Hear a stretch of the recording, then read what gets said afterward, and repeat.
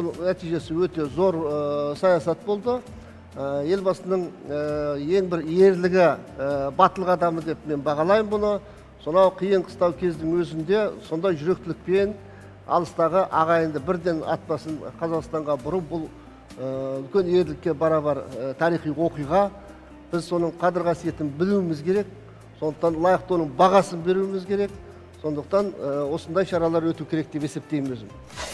Енді рас қой аға қазақстан осы шешімге келген кезде алқа салқа жағдайдағы ахуалда едік қой енді. Өте қиын жағдайда. бір ә, тура